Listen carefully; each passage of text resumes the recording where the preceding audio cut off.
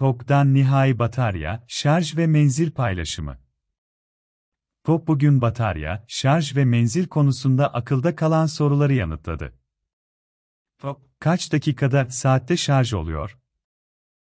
Bugün sosyal medya hesapları üzerinden, ek nasıl şarj edilir bu elektrikli otomobiller, isimli videolu bir paylaşım yaptı.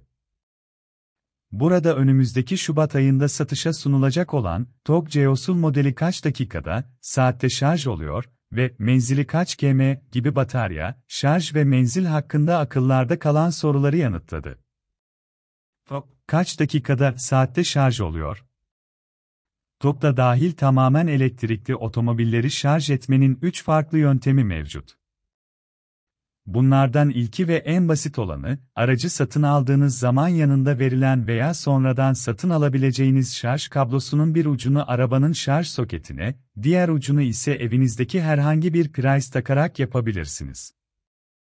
İkinci olarak, dilerseniz satın alarak evinize kurdurabileceğiniz, fakat AVM ve otoparklarda sıkça rastladığımız duvar tipi AC şarj istasyonu üzerinden normal price kıyasla 4 ila 8 kat arası daha hızlı şekilde şarj işlemini sağlayabilirsiniz.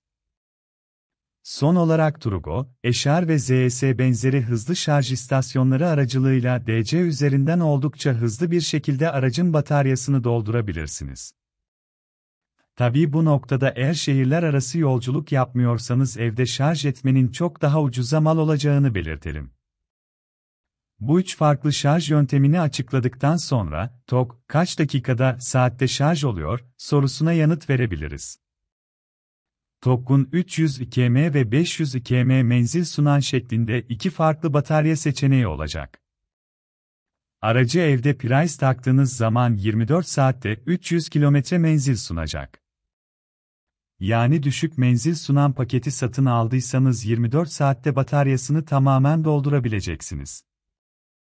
Fakat hem istasyonlara gitmekle uğraşmayayım, hem de hızlı dolum yapsın diyorsanız AC tipi duvar şarj istasyonu almanız gerekiyor. Zira bu sayede 3 ila 6 saat arası gibi normal price kıyasla 4 ila 8 kat arası daha hızlı şarj edebilirsiniz. Ancak tüm bunlarla uğraşmak istemiyor, ve benzin istasyonuna gidip kısa sürede depoyu doldurduğunuz deneyimi yaşamak istiyorsanız o da mümkün olacak. Özellikle 600'den fazla noktada kurulumu devam eden ve aynı anda 2000 aracı şarj edebilecek olan 1000 adet Turgo istasyonunu kullanırsanız 30 dakikadan kısa bir şarj süresinde 300 kilometre menzil elde edebilirsiniz. Tabii 500 km olan batarya paketi olan aracın verileri biraz daha farklı. Örneğin 25 dakikalık Turgo DC şarj istasyonu kullanımında bataryanız %20'den %80'e kadar yaklaşık olarak %60'lık bir dolum yapacak. Bu da zaten ideal kullanım şekli olarak sunuluyor.